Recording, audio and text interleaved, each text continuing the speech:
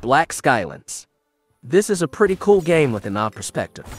I haven't played a game with a top-down perspective since the original Grand Theft Auto. I guess that's why these graphics make me nervous. They say Stardew Valley to me but make me feel like something is about to pop off at any moment.